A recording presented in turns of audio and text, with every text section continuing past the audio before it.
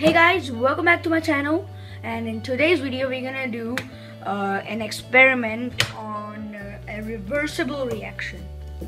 You know like, um, yeah, reversible reaction and this is a bottle with um, NaOH and uh, water used to dissolve the NaOH.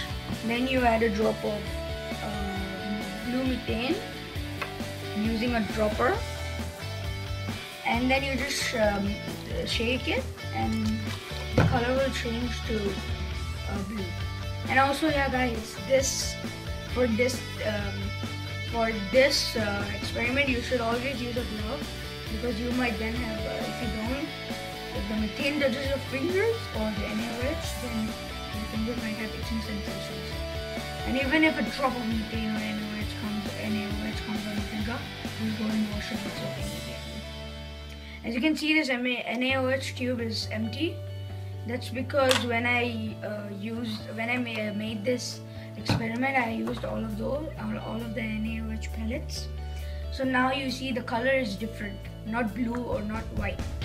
It's uh, the color, the, the color is uh, like brown or brownish because it because uh, because it's like it's kept from two days and I haven't touched it yet. So yeah. Now we're gonna add some drops of methane in it so that it looks blue when shaken.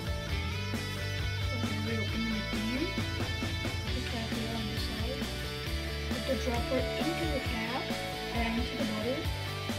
Suck some up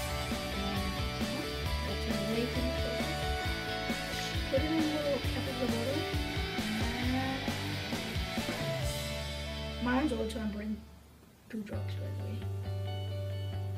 And as you can see, the color is changing to blue in the bottle, in the bottle. And uh, and now we first close the cap. The cap.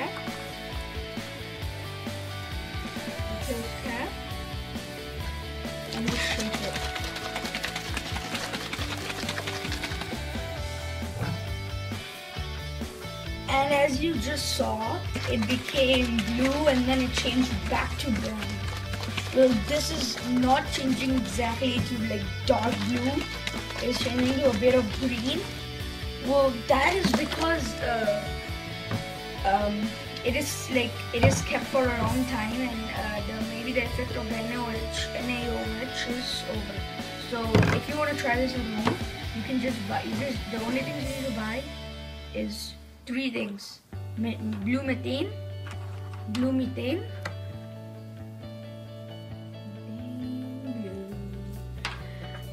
NaOH it should be pellets okay? Pellets NaOH pellets. And a dropper to for the, for the